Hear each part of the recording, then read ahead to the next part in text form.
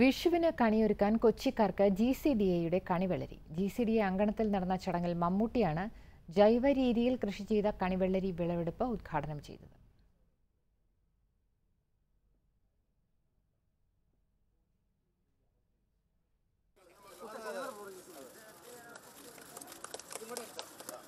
Metro നഗരത്തിൽ കാർഷിക സംസ്കാരത്തിന്റെ പുത്തനേട് കുറിച്ചിരിക്കുകയാണ് ജി സി ഡി എ.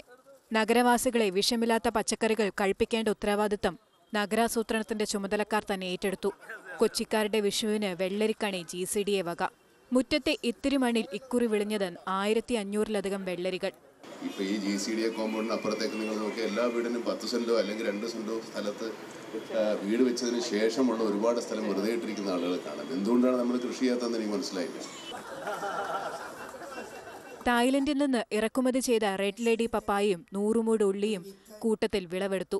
ഇവയുടെ വിൽപ്പനയ്ക്കായി പ്രത്യേക സ്റ്റോളും ജി സി ഡിയിലുണ്ടാകും ഏഷ്യനെറ്റ് ന്യൂസ് കൊച്ചി.